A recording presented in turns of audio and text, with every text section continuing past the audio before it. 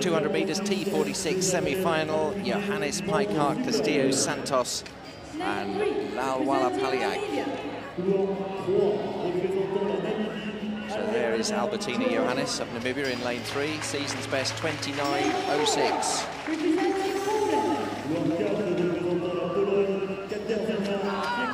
Katarina Piekart, 27.18.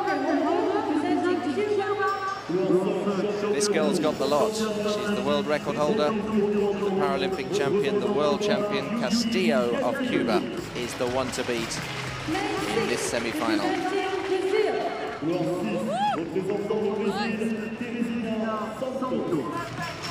If anyone's going to beat her, it'll be this lady, Teresinha Santos.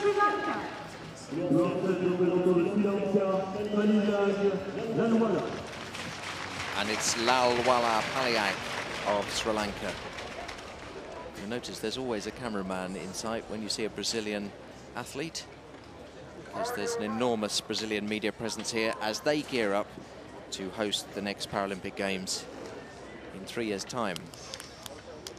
So Johannes of Namibia on the inside, Piekart, Castillo Santos and Lallwala Paliag and expect Castillo to win this ahead of Santos.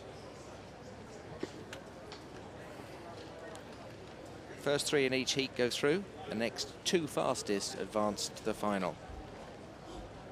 Five in this, five in the next one. Eight will get into the final.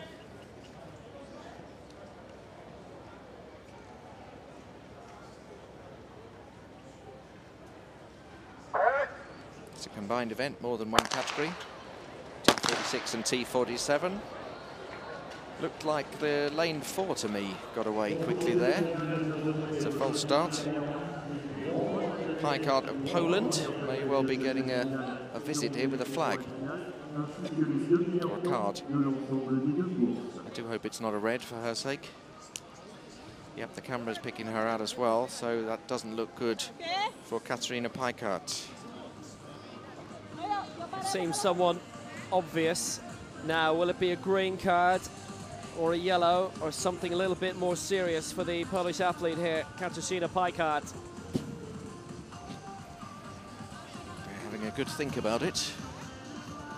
Yeah, these are the guys in blue who will make that decision. They all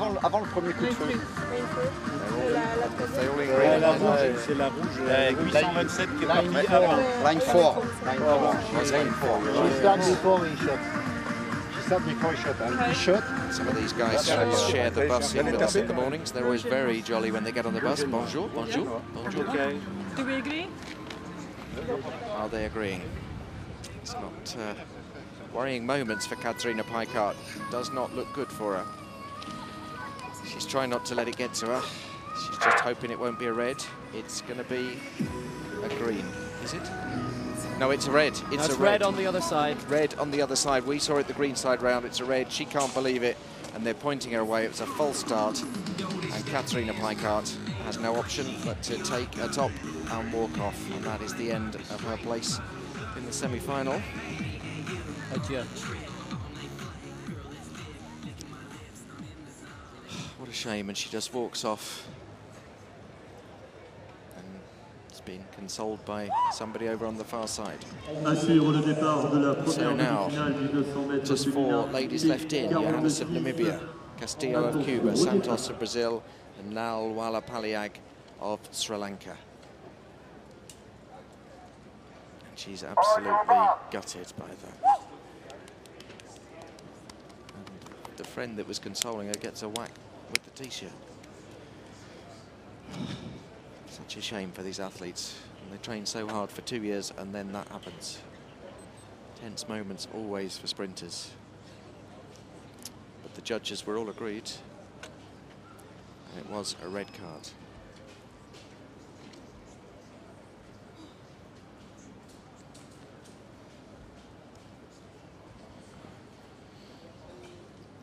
Very necessary, of course, for the sport to be strict.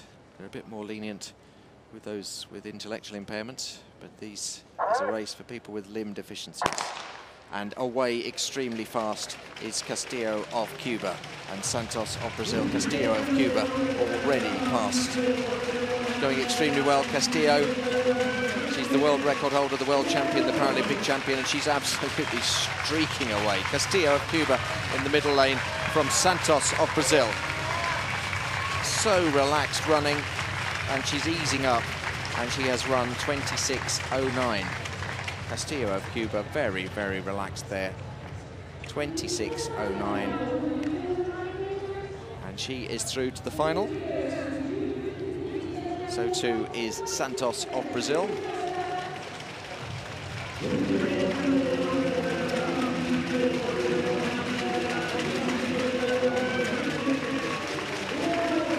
How well she runs that first bend, easing away. And she is through along with Santos of Brazil and Johannes of Namibia. Last time we saw her, she didn't look as good as that. Yundis Castillo qualifies 26.07, 27.15 for Teresinha Santos, and Albertina Johannes with a personal best qualifies in 28.59. And Lallwala Paliag of Sri Lanka also sets a personal best, 28.62.